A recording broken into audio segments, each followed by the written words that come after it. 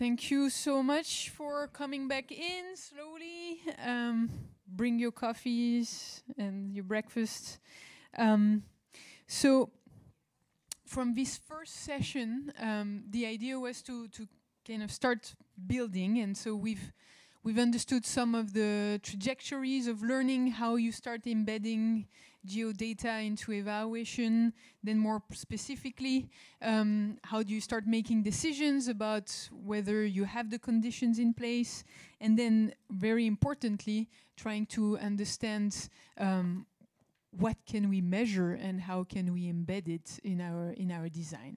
Um, so in the next session on the program, we're going to get um, focus our lens a little bit more um, with some uh, actual examples of use cases of geospatial uh, analysis in evaluations that are not necessarily impact evaluations, right? So we, we, we will be focusing on that this afternoon, but this morning we want to, um, to, to really have a, a broader scope. We will, in this session, we will also explore uh, the potential for using not remote sensing data, but other type of images data, um, including photo uh, extractions from pictures um, and and and the whole suite that uh, uh, my colleague Virginia Ziulu, who is data scientist in uh, the methods team of the independent evaluation group and an expert uh, in uh, geospatial analysis and and and all kinds of use cases of images, deep learning, etc. We're very fortunate to have uh, Virginia, who has uh, played a really important role in in uh, in developing all of these use cases. Um, so she will be our first presenter. And then our second presenter, we're also extremely grateful uh, to her um, uh, because she's up in Manila and it's very late. I don't even know what time it is, but it's very late um, from the Asian Development Bank who will uh, follow with a, with a second presentation. Um, so without further ado, uh, I'm going to give the mic to, to Virginia. Um, I think you need to go there also. Oh no, you have the clicker. Clicker works. Yes, progress. well, thank you, Estelle, for for the introduction. And so I wanted to to motivate my my presentation by by giving you a flavor of how ubiquitous data uh, image data is. So just as a few points of reference, it is estimated that about 1.81 trillion photos are taken globally per year and this number is expected to actually increase to 2.3 trillion by 2030. These figures refer, of course, uh, only to digital images, but there are a lot of other type of images that from which we can extract information, and these include images that are uh, that are captured outside the visible part of the electromagnetic spectrum. So, for example, MRI images and remote sensing images. The uh, last ones are particularly important for uh, geospatial analysis, as you have already seen on some of the previous presentations. And uh, we will see some more examples of that uh, on, on my presentations as well. And connecting as well with the poll that we had earlier, so here you, you have the answer of the actual number of satellites that are currently uh, active and orbiting the, the Earth. And this is a data source that we use a lot in IEG in order to, to complement other data sources in, other, in our evaluations. Um, so on these slides, I slide, I wanted to show you some examples of the type of images that we used for geospatial analysis. Uh, so you have uh, first an example of a daylight uh, satellite image. The second is an example of nighttime satellite image. The third example, which is uh, maybe a bit less used than the, the, other ones, is a streetscape photo. And this is uh, simply a photo taken with a digital camera or even a smartphone of an urban scene. And with this, we can use uh, different computer vision techniques in order to, to extract information. As these images are uh, typically geolocated, we can map the exact location each image was taken and, and use that to, to map it accordingly. And there's also quite a lot of publicly available images of this type uh, from platforms such as Mapillary or uh, Google Street View. The uh, last two examples uh, show an example of a drone image that you can appreciate the, the higher resolution of the image as drones uh, tend to fly relatively much closer uh, to the, the surface um, of analysis. And the last one is an example of a radar image that it doesn't look as similar to the typical color representation of images, but it has the advantage that it's not affected by cloud coverage, which makes it suitable for some specific applications. Um, here in IEG, we have experimented with different techniques for geospatial analysis. And uh, so this includes traditional uh, GIS um, methodologies, uh, remote sensing applications, some photogrammetry, which is mostly used uh, for 3D applications, as well as machine learning and computer vision applications. And the, the slide, the, the, image that you can see on the slide is actually an example of a computer vision algorithm, which is called semantic segmentation. And I will explain a more detailed example of this but just to give you a very quick understanding, so this is an algorithm that segments an image into different elements. So for example, vegetation is one class, uh, roads is another class, and so forth. And this is something that we have been using in the context of evaluations as well to extract some information from these images. I wanted to uh, move next to, to give you some more specific applications on how we actually use these applications in, in IEG. And we normally think about geospatial applications within this framework of three categories, measurement, relevance, and effectiveness. Uh, the, the first category, uh, measurement, uh, refers mostly to descriptive analysis, which uh, we use to, to get a sense of the change across time and across space uh, for, uh, for a specific project. The second is relevance, which refers to the appropriateness of project objectives and measures the extent to which efforts fit with the local needs and the strategies of targeted communities. And uh, finally, effectiveness allows us to understand the, text, the extent to which we, uh, the expected specific goals have been reached through the project activities and efforts. So in the next few slides, I will give you an example, a very specific example that we developed here in IEG that fits into each of these uh, three categories. So the first example I wanted to share with you is an example of measurement. And here you will see two different techniques that we actually combined uh, for the same application. And it's using uh, remote sensing data, uh, specifically uh, satellite images, uh, for deriving a time series data of uh, land cover classes. And you will see on the next slide a semantic segmentation application on the same, on the same location. So in, in this case, so what we wanted to ascertain was the, the change in land use classes for a specific area. The, the challenge that we had when doing this evaluation was that the project was actually quite old. It took, took place several years ago, as you can see from, from the time series. And it was actually a fairly small area uh, that comprised only 45 hectares. So that made it particularly challenging, given that the resolution of uh, publicly available satellite images uh, in, in some cases was not sufficient for what we wanted to achieve. Uh, so what we did in this case is we created a time series data of the different land use classes. And so you can see on the, uh, on the first slide that the, the predominant color is yellow, which corresponds to the agricultural class. And uh, the, the, evolution of the time series shows clearly how uh, towards the end of this time period, the urbanization or the, the red color on the slide uh, greatly increases. And that's actually something that we wanted to, to observe on the ground because this was specifically a project that aimed towards uh, increasing uh, the urbanization of this area. So this was a way that allowed us to, to actually understand what, what happened on the ground and to measure this. And uh, beyond the, the mapping and the images that you see online, because the pixel size have very specific dimensions, and we know that the size of the area as well. We can uh, be, be, very accurate into estimating uh, what percentage of uh, increase or decrease in different um, in different classes uh, took place during this period. And the way we, we did this was with a combination of different machine learning algorithms uh, that we, for which you need to select specific pixels that correspond to one of the each of the four classes that we were interested in, in monitoring. And uh, use that for training a machine learning model that then can be applied to other images or other segments of the images to predict the corresponding class.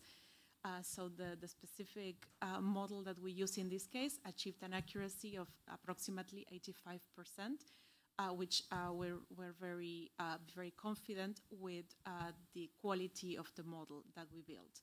But in addition to this approach, we also, in the same location, use a second methodology, which is semantic segmentation.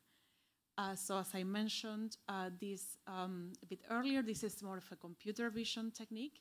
And the way this, uh, this application works is uh, based on streetscapes uh, photos, uh, which we obtain mostly from a publicly available platform, which is Mapillary. Uh, in order to uh, do this analysis, we first uh, used a grid over the area of analysis to make sure that we have images that cover the different parts of the area of the study and for some specific cells for which we did not have enough images, we complemented that, but actually working with local consultants that took additional photos uh, for our analysis. Uh, so in, once we have all this data collected, uh, so we had to do some, uh, some selection of the available images, uh, because as you can expect, when we're trying to measure uh, some phenomena such as greenness, for example, the way the images look will have a great uh, seasonal effect. So it will be very different what the photo looks like in winter versus what it would look like in, in summer or spring. Uh, so we actually selected a very specific uh, uh period for the extraction of the images. And we used the metadata of the images using a, a custom Python script to parse all the geospatial data for the images in order to uh, select the appropriate ones for the analysis. From this, we apply, we apply a semantic segmentation technique that I referred to um, before. And on this, so you can see an example on the slide. So the, the first three images that you can see on the slide are the actual photos, some of the actual photos that we use for the analysis. The second row of images that you can see on the slide are examples of this segmentation algorithm. So you can see that the detail of the images is greatly reduced in the images, but uh, these allow us to classify each pixel as belonging to a certain class. So for example, the sky is classified in the same color of, of uh, blue, the trees are classified as a vegetation class, which is green on these images, and so forth. And from this, we were able to extract some urban indicators. An example of one of the indicators that we extracted is greenness, and that's what you can see on the, on the map on the slide as well. And I should clarify that this greenness indicator is uh, different from the perspective that you would obtain from a satellite image, which has much more of an overhead view, uh, while in this case it captures a much more granular indicator that's more from the perspective of a pedestrian, for example, exploring the city and it would capture not only the, the parks or the big green areas, but also the trees along the street, private gardens, and so forth. Uh, so um, the map that you see here is a combination of both approaches. Uh, so we extracted calculated greenness using this semantic segmentation approach. And we also complemented the information with whatever we could obtain from the overhead view of satellite images and we were able to, to obtain a quite precise understanding of how this specific indicator uh, is reflected across time. Uh, the next uh, example that I wanted to share with you is uh, an application of effectiveness, uh, uh, sorry, of relevance. And this is a methodology that we have been piloting in IEG across many of our country program evaluations. And it's a quite customized methodology that relies on, on um, estimating two different aspects. One is the need, and the other is the uh, level of access. The uh, level of uh, need is proxied by disaggregating macro variables such as population or GDP per capita, as well as sector specific variables that would target access to basic services, for example. Uh, the other part of the analysis is the level of access, which is proxied by determining the number of World Bank interventions that took place with the same level of geographic disaggregation. Uh, so this analysis relies on building a customized data set and the specific data sources used will change based on each, uh, each country and what's available. Uh, but here you can see an example of Mozambique and one of these gridded data sets that we use, uh, which is um, GDP uh, data. So you can see the, the data for two time periods, and as it can be very hard to see the difference just by visual inspection of the two maps, the third map that you can see on the screen is the result of applying a change detection algorithm, which shows the difference between the, the two. So the areas uh, highlighted in purple is where there was an increase in GDP, while the areas highlighted in orange is the areas where we observe a decrease. And this can be mapped in many ways. As one example is uh, the maps that you see below on the screen, where you can see one layer showing the change in GDP, and the second uh, layer, which are the, the bubbles on the map, show the number of projects from the World Bank that focus on those uh, specific areas. And uh, finally, I wanted to share with you an example of effectiveness. And uh, this is an approach that we very recently piloted in order to understand the land use composition on a very specific area around the bus rapid transit system in uh, Dar es Salaam. And uh, the, the main data source that we use in this case uh, was um, building footprint data, uh, which is a data set created by Microsoft using multiple sources of high resolution satellite images and drones that actually delineate all the, the, the morphology of the parcels for, a, for a global uh, coverage. So in this case, what we did was uh, create a grid, as you can see on the, on the slide, that uh, we use as a unit for the analysis. And in one of the alternatives, in order to understand the different characteristics of land uses, is by uh, considering different uh, shapes of these parcels and the size, for example. So I'm not going to explain all the, the metrics one by one, but here you can see snapshot of six metrics that we calculated. And the, the intuition, for example, is that informal settlements tend to have smaller shapes and more irregular shapes as opposed to uh, more, more formal settlements. So we, uh, based on the literature, we determined six specific metrics that were of interest. And based on that uh, parcel data that we had, we extracted these characteristics and we map the characteristics of the six metrics on the same grid, which has the same, the same size that I showed you before. Uh, so combining these six metrics, we were able to cluster the six dimensions by uh, getting a sense of the different composition of this parcel. So that's the, the last image that you see on this slide. And uh, you can see the, the very different type of land use that we, we found on this area. Uh, one disadvantage of this approach is it's an unsupervised approach, so we can see that there are different distinct parcels, but we cannot get a specific name for those. So we had to work with consultants and urban experts in order to help us identify what these type of parcels are. And finally, and uh, just to, to close uh, this session, I wanted to just give you a very brief update on the different advantages and disadvantages that we can observe on image data. Uh, so as we have seen as well on the, on the previous session, one example, uh, one advantage of using image data for evaluations is that it can augment existing data sources, that uh, there is quite an abundant uh, number of, of sources that can be used for this type of analysis, and including for a, a long time period, which allow us to construct uh, different time series uh, to see the evolution of phenomenon on the ground over time. There are, uh, however, some challenges that are important to consider. Uh, the, the most important one is to construct validity challenges. In an essence, when we're using uh, image data, we're proxying a phenomenon that takes place in the ground. So, for example, we can use the, a photo of a house to get a sense of the poverty level of the neighborhood. However, that, that relationship needs to be validated and, and demonstrated in, in a rigorous way in order to, to be robust in the analysis.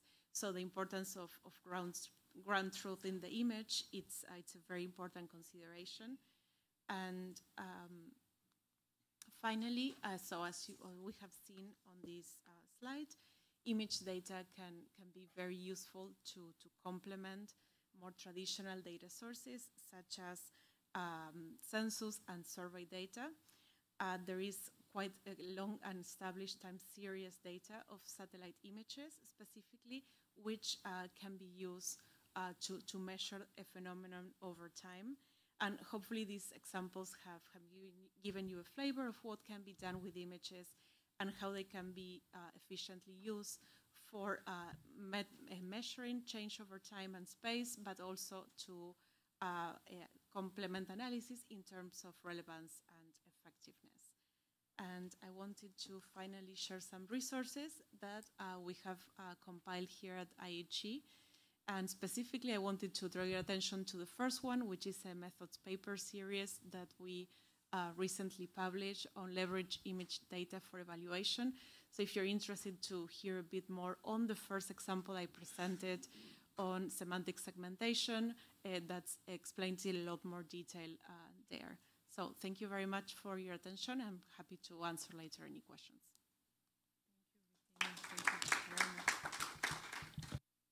Um, an overview of what uh, they've been up to at the Asian Development Bank. Um, and so hopefully the, the magic of WebEx will work. Do we have Maya online? Can we see her presentation and, and her face?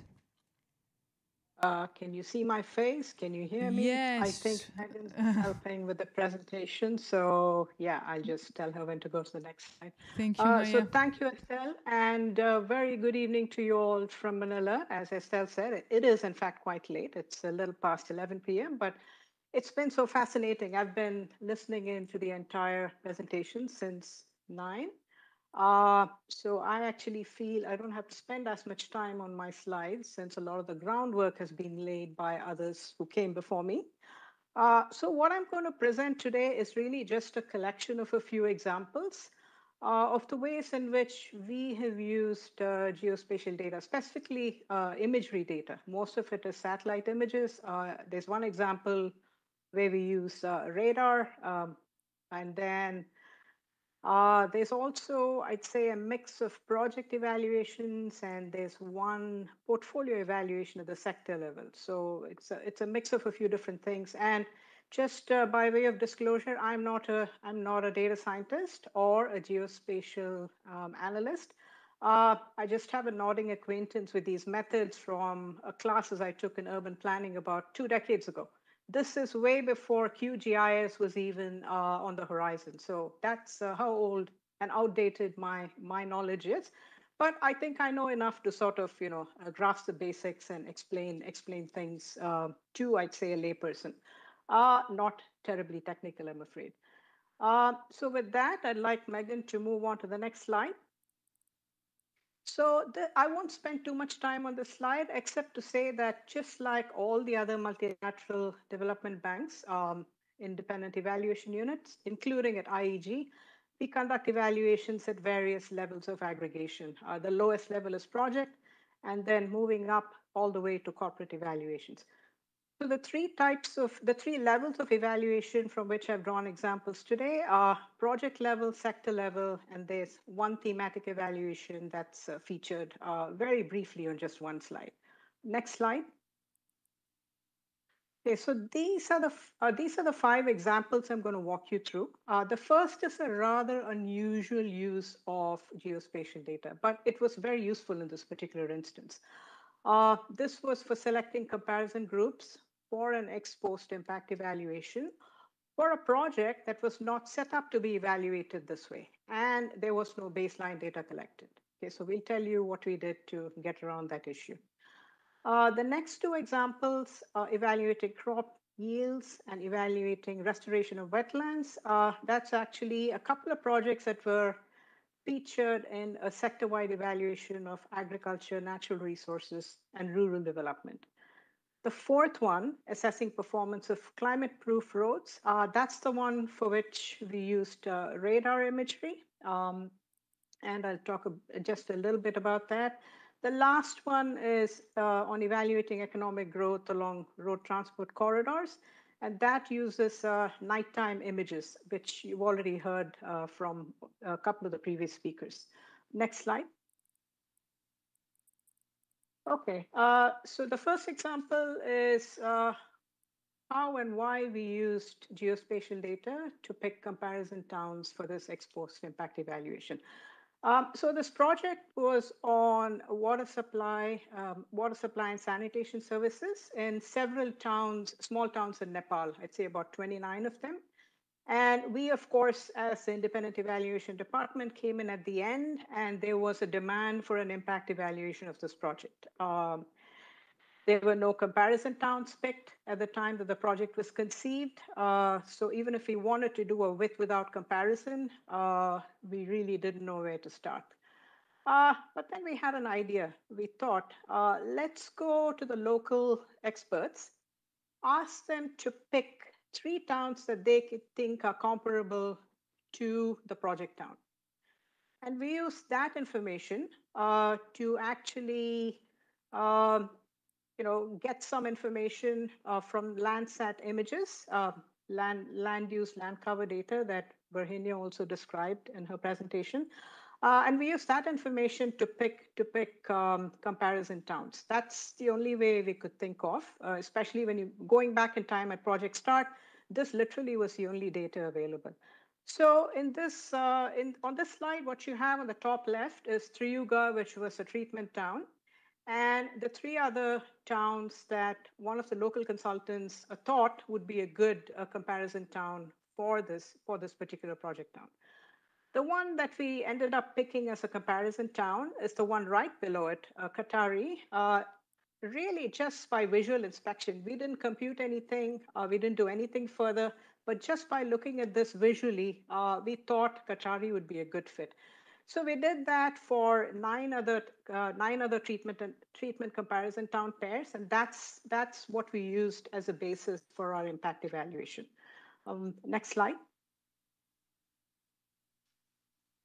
Okay, uh, so as I mentioned earlier, this example is uh, from the sector-wide evaluation, and this was evaluating crop yields in Bangladesh. Uh, so what this uh, case study really uh, looks into is there, there was a 300 hectare irrigation command area in, in Bangladesh, and there was a sub-project that benefited from you know, two sequential projects that were delivered um, over 15 years. So the projects uh, together uh, provided irrigation uh, investments, and they also introduced high-yielding rice rice varieties.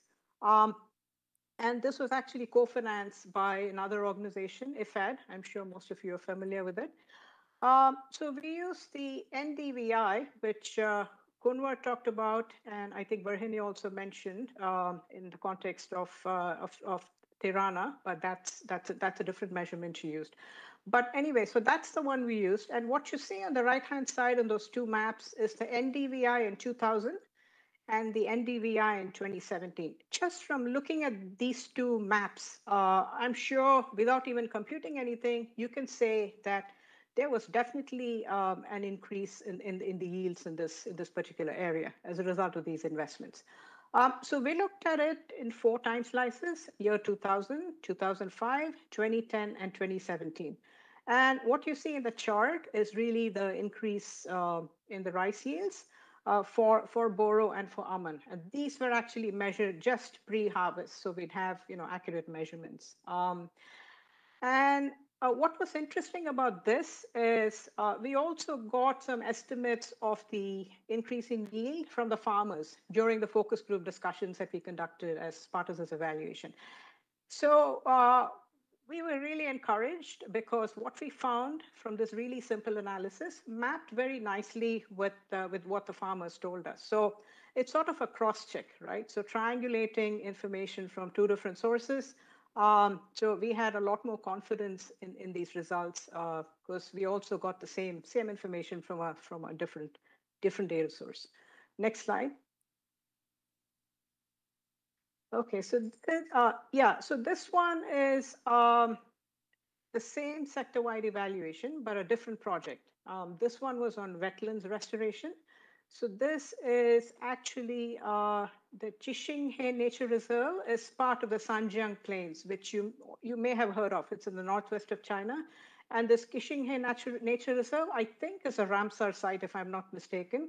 And it's actually quite uh, quite important for biodiversity, specifically for specifically for some uh, species of birds, I believe.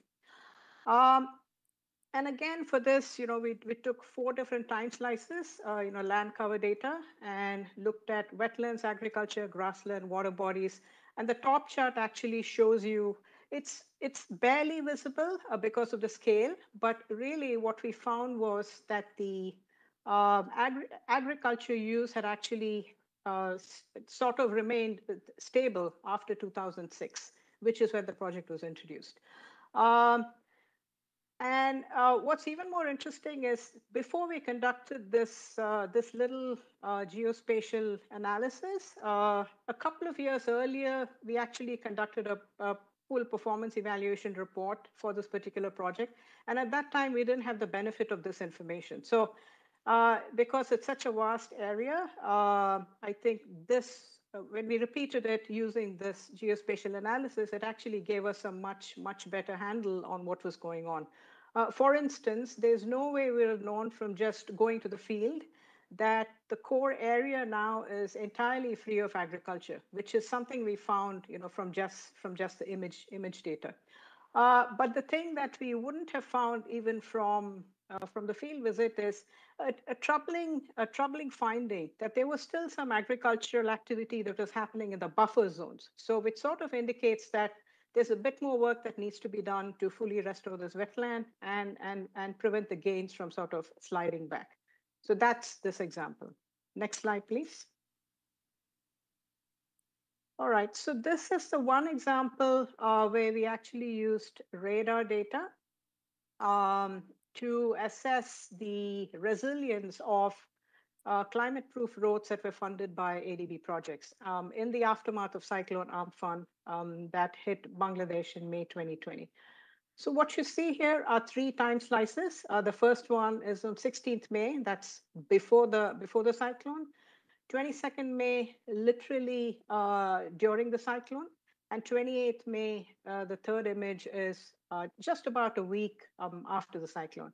So what we uh, observed was, you know, of the of the 32 road segments that were funded by um, ADB projects, um, about 10 of them exhibited some, some amount of flooding right around the time that the cyclone hit.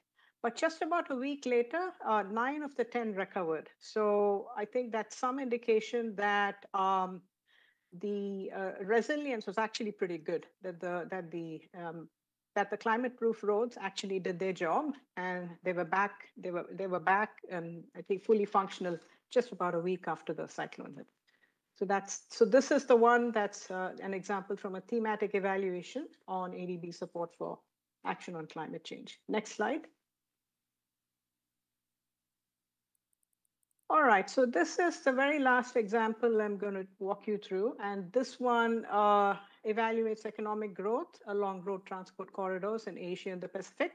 Um, and this actually assessed uh, assesses using nighttime luminosity data for 33 ADB supported projects in about 16 countries. Um, and the way we did this was we really couldn't find uh, roads that were comparable uh, to the to the project roads. So we sort of segmented it as a before and after. Um, so about three years before the project start and three years after the project was completed. And then we compared the nighttime luminosity. And what we found was that on average, 45% uh, of the growth rate could be attributed to the 33 projects. And uh, if you want, uh, I'd say a deeper look at this one, it's actually quite interesting. Um, and I'm sure you know several others have used this technique. This was published in Transportation Research Record. Uh, I don't recall which year, just a couple of years ago. So that's the that's a very last example. Next slide.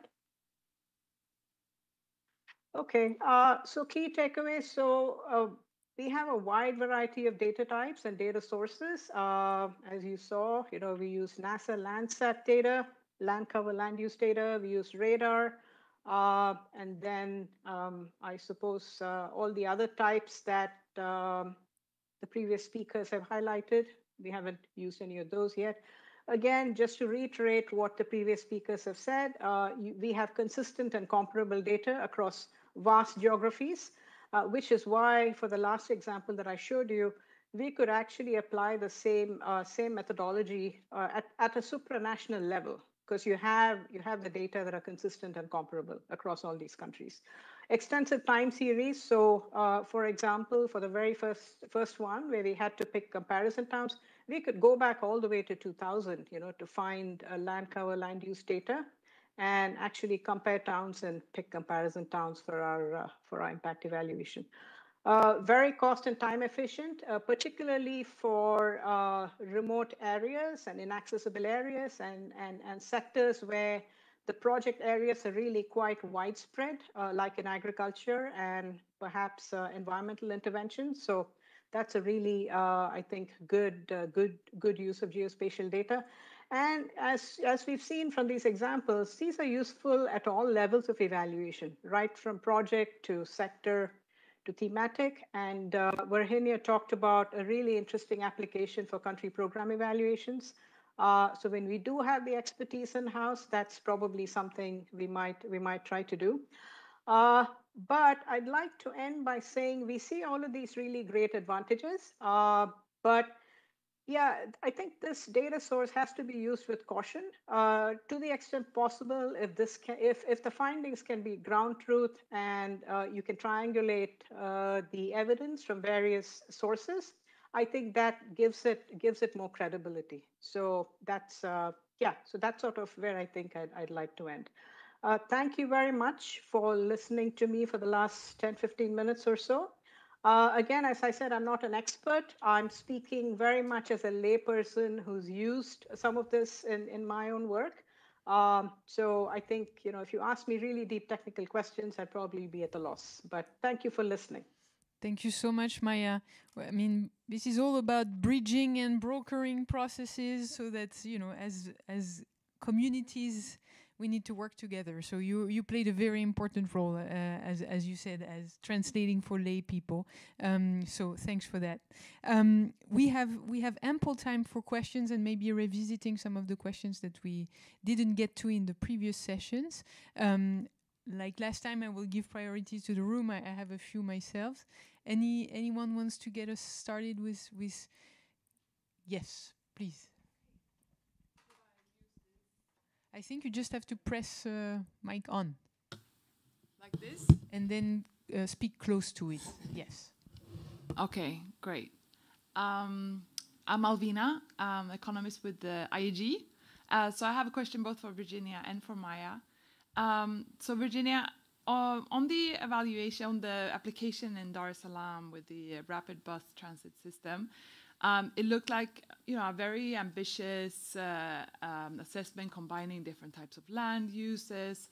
Um, um, did you? So first of all, I just would like to understand the, um, the kind of the evaluation question. Like, what was the what was the result here of that? Was it the the, the changes in land use induced by the rapid bus transit system?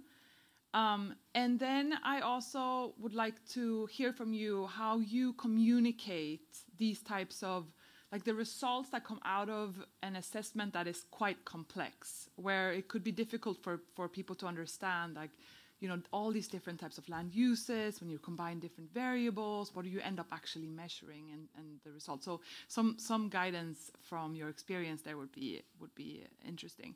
And for maya on the uh, question on the wash uh, evaluation. The first case that you mentioned on selecting compare comparison group um, i'm assuming that the outcome variable of interest was access to water uh, but it, or and sanitation or combination of both so, what was it about the land use that was that was relevant for for the the access to to water um, outcome variable? Uh, uh, if it if this was a um, an extension of the public water network. I could I could imagine that institutional capacity, population size uh, are also um, important variables, especially the, the institutional capacity side. So, did you also consider non-spatial variables when you were doing this, and and just understanding the um, the the the specific variables connected to land use that were that you seem you you think were relevant for this this outcome um, outcome variable.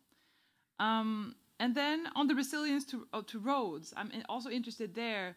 What was the specific um, the specific kind of intervention, the specific uh, um, um, aspect of these roads that had been supported that made you assume that you know that that the effect of the water you know that not the flooding not impacting these roads um, had been had been a result of the intervention itself.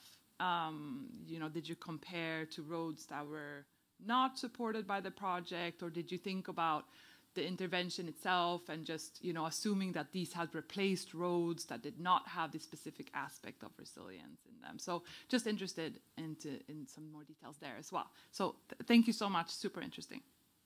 Thank you very much alvina. You you make very important points which are that you know we of course we need to leverage this but we shouldn't forget about all of the important design steps and understanding what are we measuring? What is the intervention about? Uh, what do we know about it? Uh, how is the dependent variable relevant? Are we proxying it well? So uh, this is music to my ear. Um, that that we really need to continue thinking as evaluators as we try to exploit uh, these these new sources of data. So with that, uh, maybe Virginia, you get us started, and, and then I'll turn to Maya. Yeah, thank you, Alvina, for, for the question. So, in, in terms of your the first part of your, your question, more in terms of uh, what we were trying to, to understand with the analysis on the on the BRT. So we had some historical data of how the, the land use uh, was before uh, the, the project started. And what we were trying to understand is the spatial transformation that took place within the area surrounded, uh, surrounding the, the BRT uh, and, and, get a sense of, of how that compared. It wasn't a perfect comparison because we didn't have a map as we were able to produce, but we had different sources from documents, from government officials, and so forth that gave us an understanding of what the land use was. And uh, we wanted to, to see specifically uh, how clearly delineated the different land use were or how mixed they were in order to, to be used as an input as well more prospectively uh, into the consideration by this type of uh, transport projects on, on the different implications on land use and whether that has been taken uh, in consideration when building the, the BRT. Um, so you mentioned as well in terms of uh, communication and how we actually uh, express these findings and, and, make them clear. And, and that was certainly an, an important consideration. Uh, one aspect that, uh, so in this case, we, we had, well, the map that you saw on the slide that, that we produced, but an advantage of this approach is that we work with the morphology of the parcels, which is visually, I think, quite, uh, quite intuitive to see. And the, the characteristics of what constitute different land uses is very context specific as well. So, for example, what the slum looks like might not be the same in Dar es Salaam as it could be on other places. So we uh, we got some intuition from that as well because when, when calculating these six metrics, we were able to see specifically what the parcels, parcels look like, what the size was, uh, how much it changes in small areas of time. So it gave us some, some better understanding from, from that as well. And uh, the, the other thing that we did in order to make these findings more, more intuitive is uh, have quite detailed discussions both uh, with urban uh, experts and experts specifically on, uh, on, on, on, the BRT, including that those that were part of the, of the project. Uh, because as I mentioned with this map, we can see there are different land uses and that they're very distinct from one to the other, but we cannot tell what the name of that land use is. So the, the model will not tell you this is, for example, slum or, or this is a corporate area. So on that, we had to work with uh, experts that would help us validate the findings on one side, but also to put names to these categories and to help us understand better what this map actually means. And I think that that conveys a lot of power as well in order to, to be able to tell what the different land uses are in, in reality. Thank you. Maya, over to you. Yeah, so uh, to answer the first question on selection of comparison towns, so yeah, uh, the key things we looked for were urban area, um, elevation, and proximity to the main east-west highway. Though we thought those would be really good indicators, uh, you know, to sort of match a project and comparison towns are. Uh, in the absence of, you know, any other information, that seemed to be a reasonably good proxy proxy indicator for selection criteria. And on the second question, uh, let me see which one that was. Yeah, so there was, in fact, a climate resilient infrastructure improvement project in the coastal zone in Bangladesh, and which included upgrading and climate proofing of about 130 kilometers of rural roads, a bunch of bridges and culverts, and also climate proofing some growth centers and rural markets. So uh, which is why we thought it was important to see if they actually held up in the face of a, of a pretty severe cyclone. And at least from the you know quick assessment, just based on the radar images, looked like they did pretty well. You know, nine out of ten were nine out of uh, the 32 were actually uh, fine just about a week after the cyclone. And um, there was also an impact evaluation conducted by IFAD for these same investments, and they found that more reliable access to markets through both the dry and monsoon seasons. Uh, that sort of enabled local farmers to um, to smooth out their income and consumption throughout the year. So that's sort of a complementary piece of uh, evidence that we had on the on the effect on the effectiveness of these climate-proof roads. Thank you, Maya. Any other questions in the room? Yeah, Sabine. Uh, I'm going to Harsh, Sabine, if you don't mind. Harsh, go ahead. Um, I had a question for the previous panel. You need to speak really in front of them. Oh, uh, I had a question for the previous panel as well, perhaps, yes. uh, yes. so I can go with that. Yes. And I had a small question for Virginia. Um, so um, thanks a lot for all of these presentations, uh, very insightful.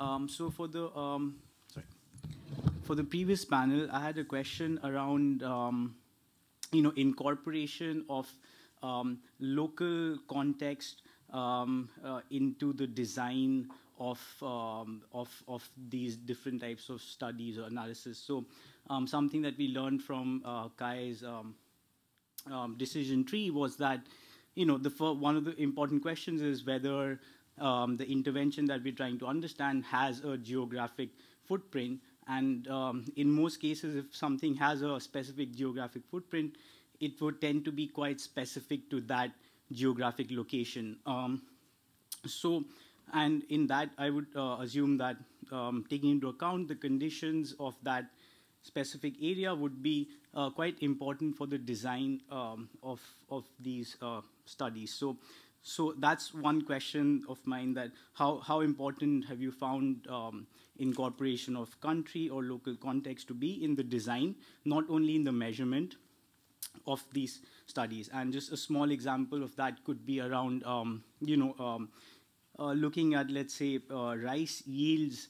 So to really understand whether uh, whether uh, we are sort of asking the right questions um, for for that intervention. You know, not just about um, in that area how the rice yields change, but also whether um, supporting rice cultivation or trying to improve rice yields in that area was sort of the appropriate um, intervention to begin with. Um, so that's my question. Thanks. Um, I'm sorry. For for Virginia, it was a small question about um, you mentioned image segmentation and semantic segmentation. So just for the benefit of the audience, um, uh, what what we mean by by semantic segmentation. So um, my understanding is that uh, as opposed to plain image segmentation, um, the segments would have a label which is meaningful, but it would be helpful to to understand. Thank you. Thank you, Harsh. Um, yeah, I think on, on, on the issue of context, uh, this is very important. We we consider that we're getting some information on context by looking through geospatial lens, by images, etc. But that's definitely not sufficient. So how do we think this through is, is a really good question. Anyone wants to take take a stab at it? Kai? Yeah, thank you very much for the question. Um, yeah, as you said already, I, I think when we uh, make meaning of our data, like at the beginning, we try to merge many uh, sources that we have. So it could be like the geospatial uh, data, it could be uh, survey data that we use, and uh, usually we also try to, and we will see this later too, um, to um, um, have also qualitative uh, qualitative data. So have interview data with local farmers. Uh, on the one hand, you could do like use it for ground truthing to really ground truth is like what we see and the satellite image is what we also see on the ground. But also um, to go a step further in our methods um, um, integrated uh, designs we also uh, sometimes don't want only to see like the causal effects but also understand why something is happening there. So with interviews that we combine with this we can also um, see some mechanisms for example. Kunwar? Yeah to speak in the mic. Yeah. Sorry, I have habit to speak. so I think uh, adding local context in any GIs is, is, I think, the most important aspect. For example, MRAD invested millions of dollars in the western part of Nepal to uh, to farm sugar. Noir, you need to also speak in the sugar cane. Thank you. in, in order to minimize soil erosion, river cutting, and many other environmental effects. Now, if we just focus on sugarcane mapping only, then we will overestimate that sugarcane plantation is the driver of uh, that uh, reducing soil erosion, river cutting.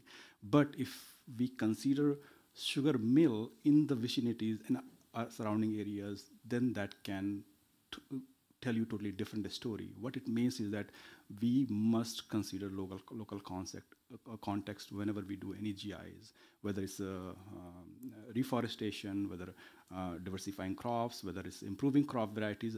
From I think we need to dig in deeper to understand what is happening locally before we start implementing any GIs. Thank you.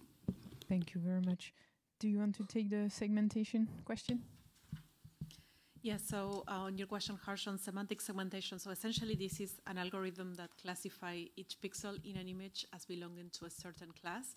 Uh, so as you as we saw in some of the examples on the Tirana um, case study, so the, the image is converted into a much simpler map uh, where each, for example, all the all the trees are labeled green, meaning vegetation, all the sky is labeled as, as blue, meaning sky, and so forth and that's what we can use to extract different uh, different urban indicators in this case. So in, I show the example for greenness, but for example, other indicators that can be extracted are sky view, and that's different from object segmentation, which and the difference relies on uh, the in the case of semantic segmentation, what we obtain are classes. So just to keep it simple, one class is vegetation. In the case of object segmentation, each tree will be mapped to a specific instance. So that's that's the key difference between the two, and that has many uses as well. Uh, but in this case, we've been focusing on semantic uh, segmentation. Hopefully, that clarifies. Mm -hmm. Thank you. Any? Uh, I think we had Sabine, and then Bahar, and then Maria Lisa. Um, so I wanted more to make a comment. Um, I heard several of you since this morning talk about the complementarity of data sources and uh, also comparing and adding experts and underground evidence and testimonies into this.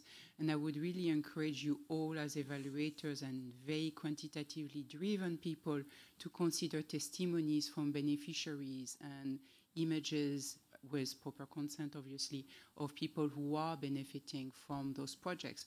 So when uh, Claire was talking earlier this morning about uh, Senegal and crop yields uh, in uh, the rice sector, I kept thinking about a story that has been publicized by IFC, the International Finance Corporation, on the importance of rice uh, Um, agriculture for women in Senegal, and it's uh, an extraordinary story about how over several, about a couple of decades, a, a, series of women have been able to cultivate their own plots, etc. And so I think if we can unite both ends of at the spectrum, from the quantitative to the qualitative, you really have a far more impact, and you can really I mean, raise emotions, also give a voice to the voiceless. We heard this earlier this week during the Future of Evaluation event, uh, because that's the whole point of evaluation is to have an impact on policy and perhaps giving voice to, to people who benefit from those projects is a way to not only provide the expertise you need on the ground, but also to, to, test, to provide more testimonies. Absolutely. Um, Claire, you wanted to react, it seems. Yeah, for this one and your present uh, comments about this example of Senegal, uh, because actually what I present is just a part of it. It was um, the methodological uh, aspect, and uh, and I would say try uh, to develop this tool in common with our clients, which is one of the challenge, but uh, this was the first step. Then we did a project evaluation where the results of this um, has been included. Uh, and of course, uh, I mean, the technology is, I mean, we need to start by what do we want to measure? What is a real question, depending on the context and depending on what we want to address, if it's something about gender or uh, gender inequality or if the rice is not the same question from Senegal or Cambodia. Um, so the point is, uh, we had a qualitative part. Uh, we asked before what was important for um, our client, for AFD, but it's a complete uh, different work. And at the end, yes, the two hands come together. Um, but sometimes you start by the quantitative or the quantitative and then you complement it because in our experience um, evaluation but most geospatial um, impact evaluation it's not a one shot. Like it's a journey. You start by something you have by the data you have in hand and then you discover that the answer is limited. So on the next generation of project or on another study uh, you will be able to address other questions that you didn't have the data or the time or the budget uh, on the first round. So our message is it's evaluation is not a one shot. It should be an interactive process and you, it's a learning process. So it's not about what is in the single evaluation report. And I think it works for project evaluation as well as impact evaluation and geospatial impact evaluation. Thank you. Bahar, you had a question? Yeah, just quickly build actually on what already Sabine and Claire said, right? The qualitative part and understanding the next step. So I think it's a bit more relevant for the bank as we go from a, you know, in the scorecards, uh, in our scorecard from 100 over 150 indicators to 22, and the crux of going you know to smaller set of indicators is actually understanding the impact right? So like uh, like we use here all over again over and over again is that we don't want to measure how many people have access to electricity but really who uses it and how it's being used right? So the geospatial tools will play even more you know greater role. I wonder in ieg and also in other agencies have we already thought how to square this drive in the development agencies to understand the impact more than just outputs like we usually try to understand and how are we planning on using these tools. Thank you. Thank you. Maybe we'll take maria lisa as well. Yeah. Oh yeah. I think you're good with the red light you're on. Yeah go yeah. ahead. Can you hear me? Yeah. Yes uh, thanks a lot. Very interesting session. So I have questions that are probably more related to the previous uh, panels. One is on whether uh, you are aware of a mapping of the use of geospatial in different sectors. So my sense is mostly it's being used for infrastructure, for climate, uh, for agriculture. But is there an analysis that tells us how um, much has been used and where. Second, uh, the examples come mostly from a project in the public sector, no, building roads and uh, um, improving agriculture uh, practices. Do we have um, examples of the use of geospatial to assess the impact of uh, private sector projects, so International Finance Corporation for us, for the for the World Bank Group, but that part of the um, international uh, banks. And then third, is there any estimates on costs and uh, time saved? Thanks to geospatial. I think this would be a, a, useful number to have on hand to advocate for it, or any sense of cost and benefit. It seems to me that it's really transformational. So having some numbers on this would be very helpful. Thank you. Thank you, Maria Elisa. Um, these are hard questions, but they are really good ones. Um, um, maybe maybe we go we go to Maya on the cost side, for instance. Uh, that's a point you made in your presentation. Um, perhaps you don't have a clear cost estimate benefit analysis, but I'm sure you have a hunch as to what, I mean, how efficient it was and, and why it ended up being such a good use. Yeah, I can uh, speak for the example of the uh, Chin, uh, the Sanjiang Plain you know, the one where we looked at the um, at the at, at the natural resources. Um, so as I said, we had full uh, project evaluation uh, done about three years before we actually used geospatial data. And so right away, I'd say maybe that would have been a cost saving of forty, fifty thousand dollars um, if we had done what we'd done later at the time that we actually did the project evaluation. It could have been a much shorter field visit, much more focused, uh, basically using the, I guess, the results or the evidence we already had from the geospatial data. And it could have been, you know, very short, very short, uh, a very short in-person mission. Uh, needn't have been as long as it was uh, the first time we evaluated the project. So that's just one example. Um, any other reflections on, on, on cost and time saved, maybe? Yes, Virginia, go ahead. Yes, I just wanted to, to add to what, what Maya said that specifically on, on these uh, cases that, that I mentioned, that so this is all based on publicly available image data. So there was absolutely no cost in purchasing additional uh, images or data sources. And this is most of the applications that we have done here in, uh, in IEG has been using publicly available data. So a medium to high resolution satellite image uh, is uh, publicly available through um, organizations such as the European Space Agency, NASA, and so forth.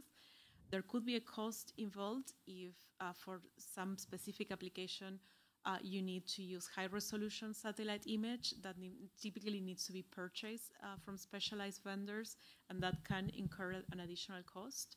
But there's a lot of uh, applications that can be developed using publicly available data as well as publicly available software. So the, the examples that I show are all using publicly available uh, tools such as QGIS and Python, which are uh, freely accessible. So then the cost is the expertise of the data scientist um, primarily, and in terms of time, I think, um, I mean, it's a bit of a generic answer, but we get faster, right? So, for instance, the first time that we did the relevance analysis for CPEs, you know, we were iterating a lot because we didn't really know how to do it. Um, we had a lot of back and forth with the teams on the data, how to how to organize the data, etc., etc.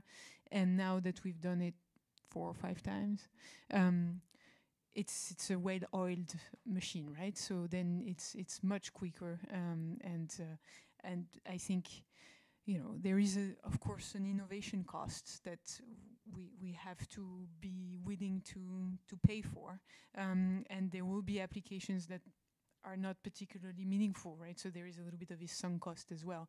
Um, but uh, but for the most part, it hasn't been an either or for us. You know, it wasn't that we could do this design or we could do geospatial. Um, it was more we wouldn't be able to do this if we were not looking. So it's a little bit more of like expanding the range of things we can do and the type of questions we can answer.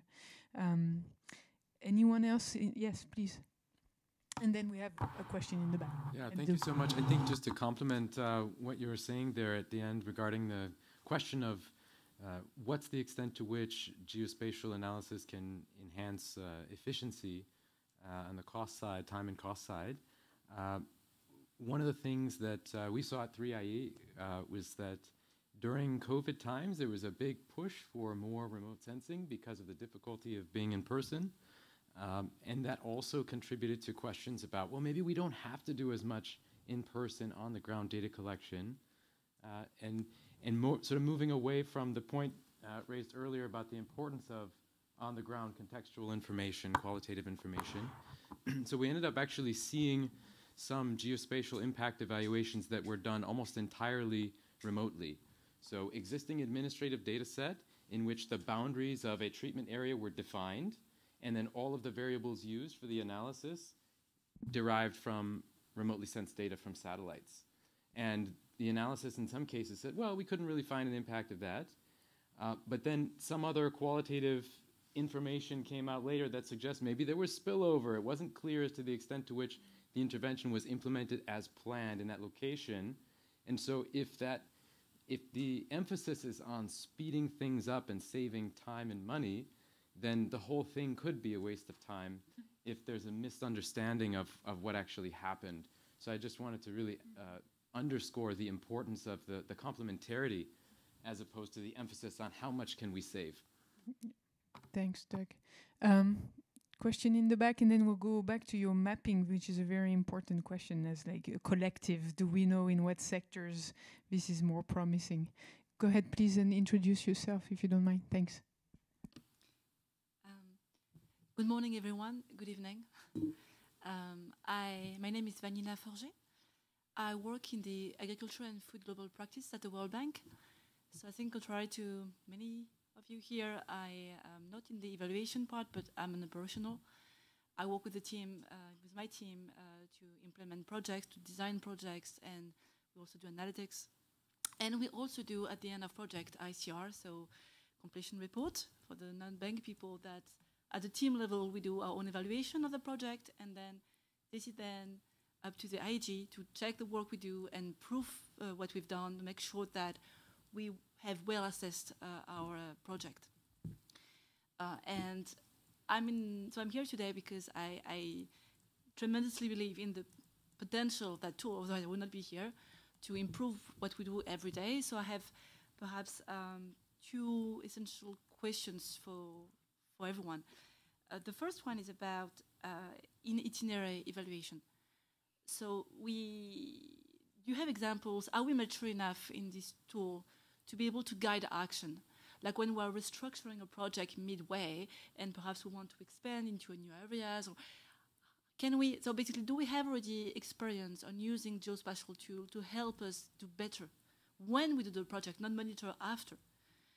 And my second question is perhaps um, I, I, don't even know if that's a question, maybe a comment. Uh, but talking about how we complement field data with geospatial data. I'm currently working in Malawi, and in Malawi, we are just trying to tr improve yields, which is a big question, particularly now with the drought and all that. And we, when working with the data to assess one of our projects in the past, I realized how incredibly, terribly awful the field data is in terms of quality. We have error measurements, but we also have a lot of confirmation bias, clearly, with people in the field trying to show that this is working. Like we have had like national input subsidy program, and clearly there's been confirmation bias on the, in the field. So much that in 2017 there was a paper published by the Michigan University that compared field data with geospatial data and actually used the geospatial data to show that the field data was not good. So right now in our project assessment, we're trying, we're wondering if we could use geospatial data to triangulate the field data we have that has a lot of noise, uh, particularly on maize. And I was just wondering if you had any thoughts about whether that's uh, still a dream or something we should be doing, and just to get some, yeah, perhaps uh, context to try to see how we could do that. So. I'll stop here. Thank you very much. Anyone wants to come in on either of these uh, questions, comments? Yes, please, Rachel. Um, well, maybe I could return to the cost question just very quickly um, and say there are a lot of cost savings that we've seen by implementing GIS. But one other thing that we've noticed is that um, if we're doing a geospatial impact evaluations, lots of costs occur if um, there wasn't, for instance, program information collected geospatially um, at the time of implementation or when potentially um, if there was baseline data if it was collected then. Um, so one important thing to just think of as you move forward is that the cost of collecting GPS coordinates when um, implementation is taking place or baseline surveys taking place is extremely cheap, especially nowadays when on the ground data collection is being done with tablets. It's already built into the tablet. Um, that's just something that can be done up front to reduce costs later, even if you don't know if you're implemented. Um, and then I just wanted to talk about the kind of the measurement piece you're talking about. We've at AidData seen something similarly.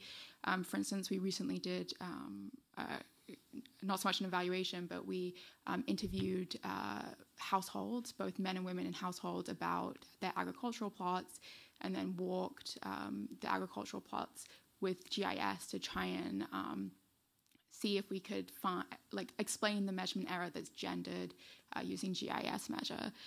Um, and uh, that's something that we've done. We were able to find, for instance, that um, men were misreporting uh, higher yields compared to women, and that was something we verified by using kind of an independent third observation.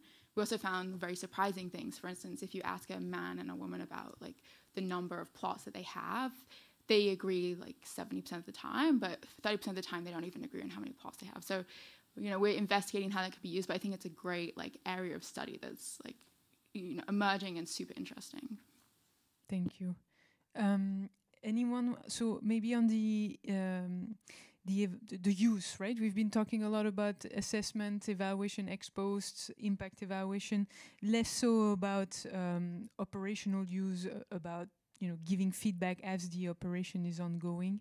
Um, anyone has insights uh, on on how that can be embedded? I think a key part, of course, is um, is to be able to uh, to have uh, you know, like in, in good adaptive management, the, I guess the, the foundation is is having the, the feedback loop. Then, in terms of what do you bring in terms of, of data, um, it's very it's very clear that um, um, there is some expertise that's needed. Whether or not this can be uh, done in every single case is probably a no. But if you have a particularly innovative project, um, you know, bringing this expertise at key points during the design, during the implementation, is something that we would, I mean, really want to see more. And then also from an evaluation point of view, you know, this feedback that you were saying, um, that would make things much more meaningful in some way. Otherwise, it's a little bit of the the one-off. Um, you brought the issue of the quality of data. I was wondering for for our experts, perhaps Maya, you also can can opine on that. Um, what are standards of quality in terms of you know geospatial analysis, um, in terms of the the data th that we really need to uh, to think about as as we speak to non-expert, as we do this bridging process, what are some of the really key points in terms of standards, of quality, um, um, of uh, rigor that we need to to have in mind, and how uh, you know how different it is for geospatial versus other data. Any reflections on, on quality and how we can enhance that through through triangulation or other things. Um, any final remarks on this or any of the other questions, and then we'll we'll move for lunch and let Maya go to bed. That's right. Thanks. Thanks, Estelle. Yeah, so just very quickly, um, I, I think in terms of quality of geospatial data, uh, they're fairly good. Um, yeah, because you know you have you have the same type of data that's tracked across time. There's consistency. Uh, so in that sense, it, it's at least internally consistent. And I don't know about external validity, which I suppose you'll have to sort of cross check with other sources of data. But by and large, I think they do a pretty good job of uh, representing reality. Any other? Thank you, Maya. Any? Yeah, Virginia, please. Yes, I just wanted to add a few points to, to that. And, and we approach data validation in different ways, and it depends in a way on, on the application and the model use. Some, some type of model, you can get a, a calculation of the accuracy of the model, and these are the, the category that we call supervised, which is when we already have labeled data. And we have the other big category of models which are unsupervised, which is more like the Dar es Salaam example that I showed, where we don't really have a ground truth to see to be able to tell with percentage accuracy uh, how successful the model was or not. So that's that's the first level, I think, on, on how we think about what we can measure about how well the data is working for measuring the, the, the reality that we want to observe. But regardless of on those cases, we normally approach a second stage of, of validation, and that can be done in, in different ways. Uh, one option is by uh, comparing for example, the maps that we produce with other uh, image uh, available. So, for example, there is a high resolution um, satellite image that sometimes is publicly available, especially current one uh, from Google Earth, for example. So we can use to see if we see the, the same type of observations that our model predicted on specific areas. And another approach that we have taken as well is to consult with experts on the on the either the topic or on the specific location and to see whether the findings resonate well with, with them or not. And we use this feedback as well throughout the development of the model because we can sometimes incorporate this early on to, to refine our model. But I think that that additional check uh, can be can be important in order to to be confident that the results that we're presenting are are robust. Thank you. Maybe on the private sector side, the colleague from IFC in the back, I forgot your name. But maybe you can tell us a little bit about uh, what what your team is up to, um, because it's true, Maria Lisa, we haven't seen many applications uh, in the private sector, at least uh, to my to my knowledge yet. Yep, um, Devansh from uh, IFC uh, in uh, ESG sustainable, sustainability advice and solutions. And we actually, yes, we do have um, sort of internal tools developed for um, risk assessment. And uh, it, it's more from that point of view where it is. I see a lot of analysis being done here about um, post implementation sometimes, and a lot of um, sort of in project valuations. But there is a lot of uh, talk and use of uh, GIS tools in general um, for risk assessment is what we do for ESG sustainability. And um, so yeah, I'll, I'll, I'll, probably add later in a couple of other sessions. Of, I've already made notes, but uh, happy to also chat uh, more on this. Thank you very much. Okay. Um, well, thank you so much for uh, for all your really great questions.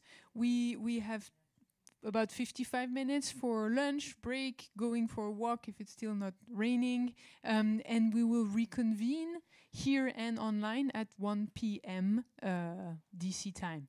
Uh, looking forward to mingling with you and getting some food in the, in the corridor and, and see you this afternoon. Thank you so much to our speakers for this morning.